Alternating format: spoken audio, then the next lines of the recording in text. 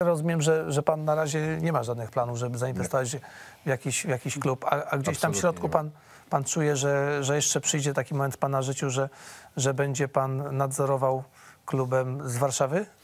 Nie Z Łazienkowskiej, nie, nie, nie Łazienkowskiej myślę o 3? Nie, w ogóle pan o tym nie myśli? Nie, Nie, chce mi się w to nie, wierzyć, nie, że pan... nie, absolutnie nie. Aha, czyli nie zakłada pan takiego scenariusza na ten, na ten... A jaką widzi pan dla siebie rolę w polskiej piłce? Czy w ogóle pan jest na tyle zainteresowany polską, polską piłką? Bo niektórzy gdzieś tam mówią, że, że może Bogusław Leśnodorski, jak się zakończy kadencja prezesa Bońka, chciałby zająć fotel prezesa Polskiego Związku Szczerze Piłki mówiąc, szczerze mówiąc, nie planowałem tego i rzeczywiście ostatnio była taka sytuacja i nawet ku mojemu zdziwieniu okazało się, że te wybory nie są w tym roku, tylko za kolejny rok. Mhm. I rzeczywiście ludzie o tym rozmawiali. Byłem bardzo zdziwiony, że, że można z tak dużym wyprzedzeniem mieć jakieś plany. Ja takich nie mam na razie.